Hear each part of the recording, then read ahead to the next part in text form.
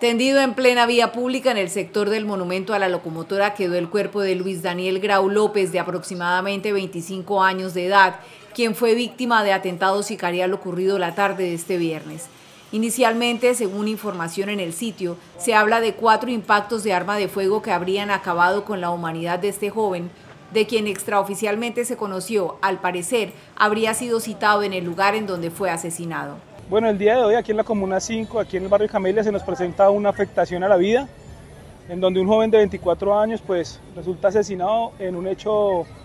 de al parecer eh, un ajuste de cuentas. Bueno, en estos momentos eh,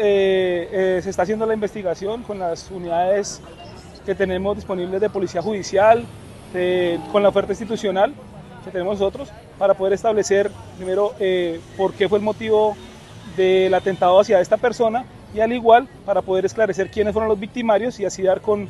con el paradero de estos, de estos sujetos que nos ocasionaron el, pues el fatal hecho